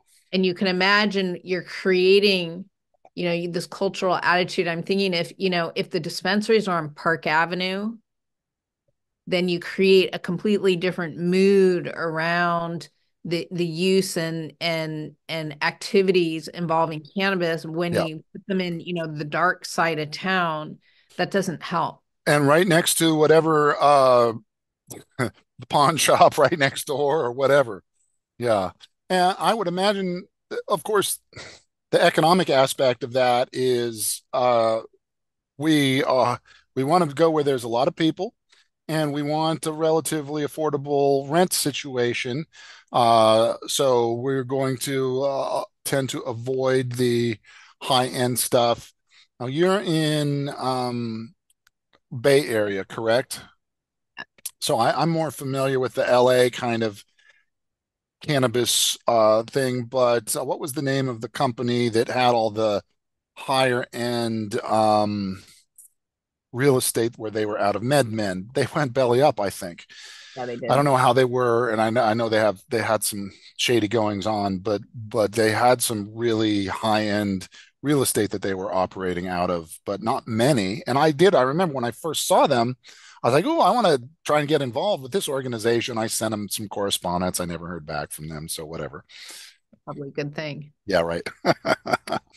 There's a topic that I think about um, a lot that I find very intriguing, and that's the cannabis community. And it goes to kind of the issue that's going on in society with the smartphones, the loneliness, and the lack of, you know, people, yeah, the yeah, connection. Yeah, and I think that that's serving, providing this tremendous place for people to be and giving them acceptance especially the, a lot of the people who had been marginalized before because of their cannabis. Now they're finding you know an above board community. They don't have to do it in the shadows. Yeah. That's that's why i like the co-op model. I have i have and that was the early washington medical model. It was not a perfect law. It was definitely abused on one end. Um, but I also saw it work properly. And it was amazing because it was both affordable and educational. And it was truly amazing. When you have a true patient centered co op, you can have 20, 30, 40, 50 people. And for folks who couldn't afford the medicine, even though they were patients, they could come for a four hour shift or a six hour shift and then uh, and then certain folks would be grow experts so they would grow it and then other people would make the products. And you could learn you could come attend a class on how to do it or you could just you could just go over to Mary's place when she's cooking up her cannabis butter and she'll teach you right there. It was so now that would have been post smartphone i'm th- i'm just trying to think of when the rec law came in. Washington was the first or second state. I think it was just right after, like within the same week as Colorado. So I think that was like 2015 ish. So that would have been like 2011, 12, 13, 14 was this co-op era. It was phenomenal. I loved it so much. And I still to this day have doubts. Push back on this, please, because it's my bias. I have doubts that big cannabis can outcompete little co-ops because the the labor input you don't think so huh? Um i just some guy on linkedin post saying that they're growing hundred dollars a pound. Okay. Wow. Is that tested? Do they know what's in it? He was he was a seed guy and he's saying he showed a picture of a grow room and he said they're getting $100 a pound because they're using 100% of the space for grow. They don't need like areas for the mother plants for the clone no r&d or anything. And they're using all the space. And i think the problem is um that you have a this is an aspect of choice architecture oh where yeah okay if well what i'm about to say if what you give people choices of that's kind of how they think of the product. And so if you put it out there and you focus on price people are going to focus on price. And in a lot of cases price became becomes you know to the exclusion of other things. And you have so many people out there especially some of these crappy growers that's all they have is price and so that's what they're focusing on. And that kind of moves people's attention and it puts everything on price. And so if you talk about it, you know, co-op, and there's obviously a hell of a lot more to it than that, but they're never going to be able to pe- compete with someone who all they care about is price. Interesting. And so I you, had you go ahead. Train, and and you know you look at any product out there and you have the mass consumption you you always have like I, I was looking at beer and craft beer is like 25% of the beer market and i was using that as you know how much i think craft cannabis is going to be. I think craft cannabis is a future uh, where, where the quality and the price can can combine. So what what i'm about to tell you may or may not be true because Dr. Zoom might be listening to us. So this might not be true what I'm about to tell you here. But I had a medical card, uh, partially from that accident that I referred to back in 2003, where I spent all that time in the hospital. And I have a pretty devastating foot injury. I still can't run, but I can walk and I can surf. Um, and topicals work fantastically for me. And so I had my co op that I was a member of. This may or may not be true. And um, Martin Martinez was the owner. He was the first uh, legal medical patient in Washington back in 96 and a stand up guy. And I said, Martin, I want to try making a topical for the co op. And uh, it's like, can I get some material? And uh, he said, sure, swing on by at seven o'clock or whatever. And Martin handed me a plastic bag that was the size of a large, hefty bag of trim, not a small, hefty bag, a large. And I think I made about three gallons of topicals out of that and I gave it back to the co op. I may or may not have kept a little bit for myself for my own personal use, but it was essentially zero priced. Now, it was low quality, but that didn't matter. It was going into a, a topical, and topicals are concentration dependent. So, and people loved it, apparently. so I was like, "How are you getting this for free here?" I I, I don't know how much it. I would hesitate to say how much it weighed here, um, but it, it was it was a large amount. I've never seen that much at that point in time. I was like, "Wow!" So it well certainly there's a lot of really good people out there, and if you go and if you look at these grows, they all have trim.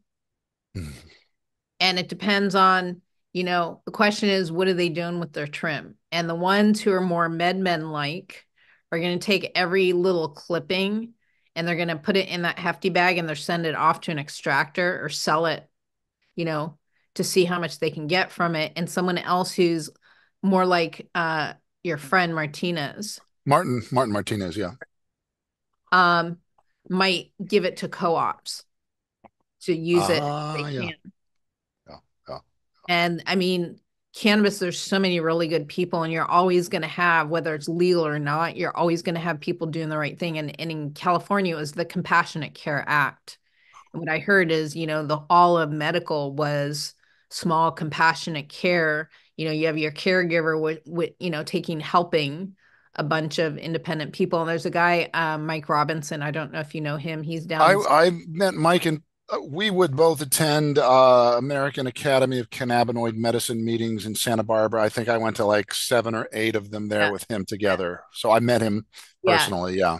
he was heavily involved in the compassionate care industry and he's the one who told me that um, when when rec was legalized the big problem with that is they no longer oh they said you can give cannabis away but you still have to pay taxes on it and he said the Oh. problem with that is you had people donating either money or cannabis for for compassionate care and that's going to kill all the donations because people now had to pay taxes on that cannabis.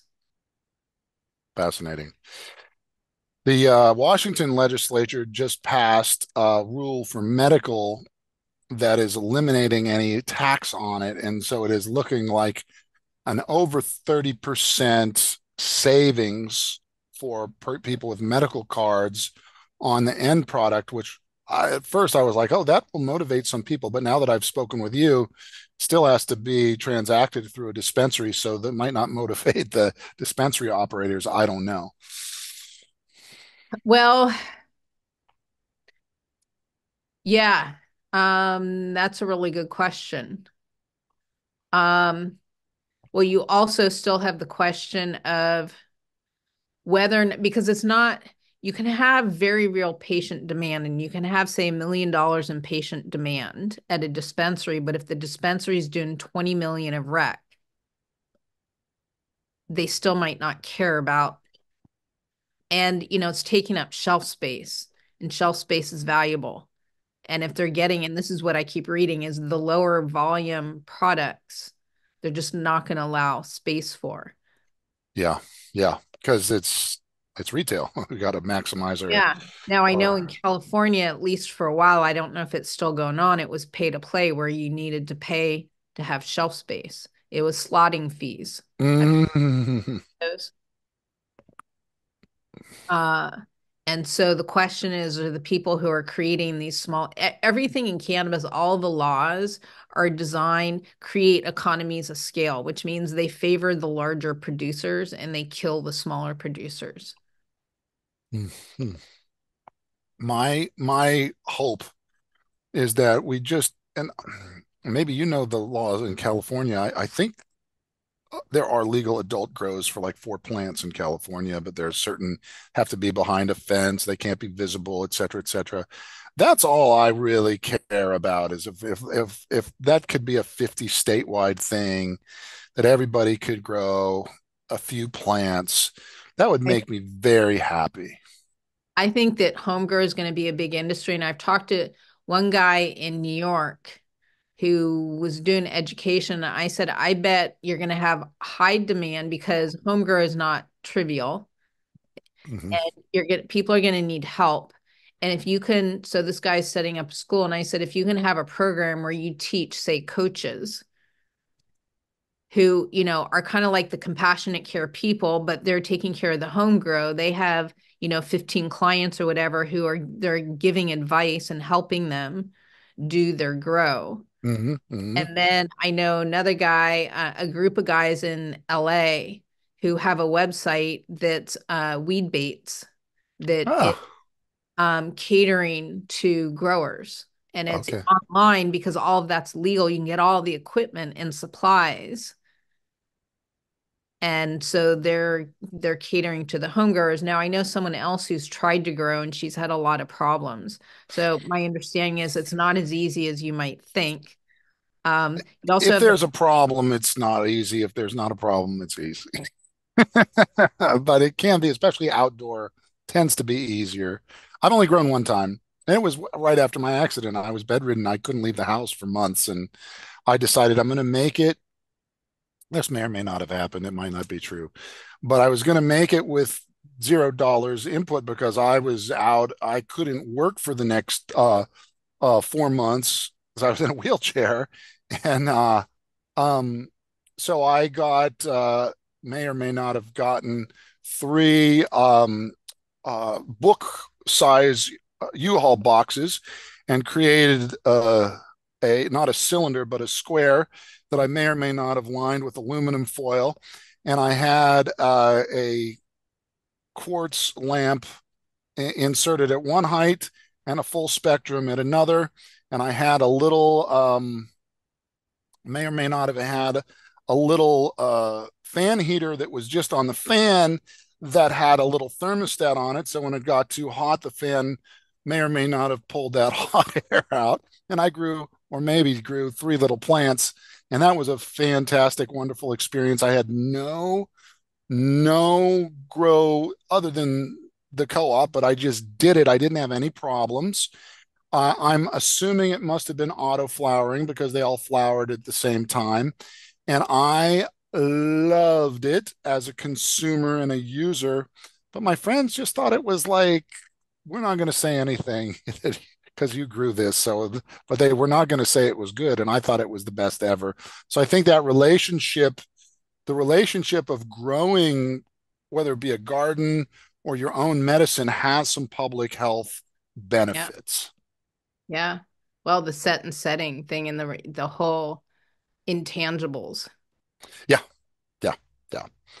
Awesome. I would the, the last point I would make is maybe a lot of the complexity comes around trying to optimize yield where if you you know if you're satis if you're satisfied with you know moderate yield then maybe it's not so tough it's only if you're trying to eke out every last kind of quarter ounce and and yes i believe that's true and that i had not framed it in that way. So that's a great lesson you taught me. I don't think it's hard at all to grow C plus cannabis, A A plus cannabis, and trust me, it it's been well over a year since I've had any cannabis. But if if if I decide maybe I want to have something, I'm going for top top top tippity top shelf because it's I don't care if it's ten dollars for a pre roll. I, am it's it's my one time this year, even if I ever do that.